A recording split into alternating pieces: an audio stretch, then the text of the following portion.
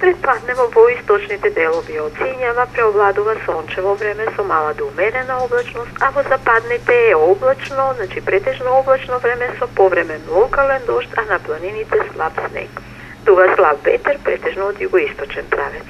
Во Полошкиот регион, значи предпладнево имаме претежно облачно време, Температурата на воздухот измерена во 11 часот во Тетово изнесуваше 5 степени, а релативната влажност на воздухот 66%. До крајот на денот во Полошкиот регион значи ќе преовладува претежно облачно време, а во вечерните и ноќните часови ќе има повремен локален дожд.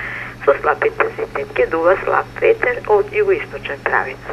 Највисоката температура на воздухот по Тетово ќе достигне до 7 степен. И во текот на утрешниот ден, значи, ќе имаме претежно облачно време во земјава со повремен локален дожд. По одолни котлени ќе има појава на магла, ќе дува слаб ветер од југоисточен правец. Утре во земјава утринските температури ќе бидат на секаде позитивни и ќе се движат од 1 до 6 степени, а дневната највисока температура од 5 до 11 степени. Утре во Полошкиот регион, значи, ќе преовладува претежно облачно време со повремен локален дожд ќе дува слаб ветер од југоисточен правец. Утринската температура во Тетово се очекува да се спушти до четвртиот степен, а дневната највисока температура ќе достигне до седмиот степен.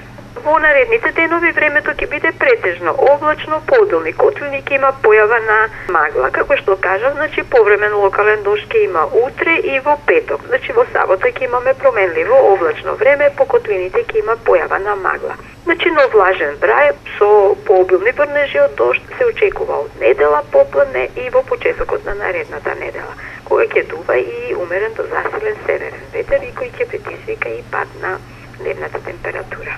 Дали тоа ќе повлече и снежни врнежи? Да, секако на планините, значи на повисоките места и планините врнежите ќе бидат од снег.